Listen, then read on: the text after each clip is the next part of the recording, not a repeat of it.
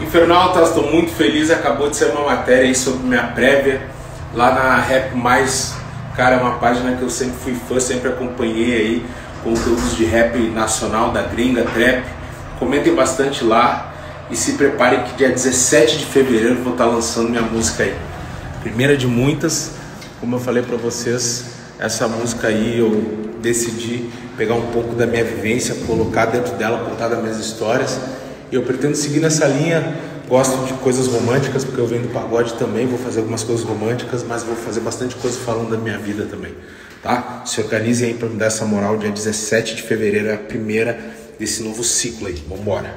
Olha, já vou falar, tem uns que estão comentando lá dizendo, ah, porque é, fazer música é fácil, inventando coisa, coisa que não faz parte da sua realidade.